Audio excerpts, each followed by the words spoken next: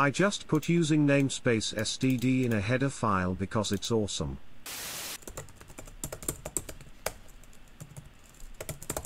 Yes. STL is my favorite library. It's so explicit, and concise about everything. Nah I don't use templates. I just use void pointers. Hmm, I don't think I need to optimize this code any further.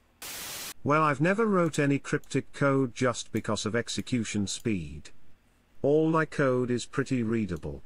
All my code is pretty readable. I don't always use macros.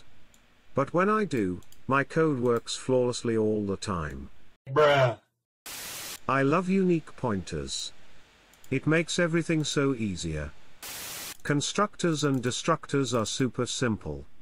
Everyone can understand the concept of these. I like making multiple dimensional arrays using nested vectors. I don't think I'm smarter than anyone else, especially Python programmers. Let's rewrite this program in Java. I use C++ for web development. Man, C++ lacks a lot of features.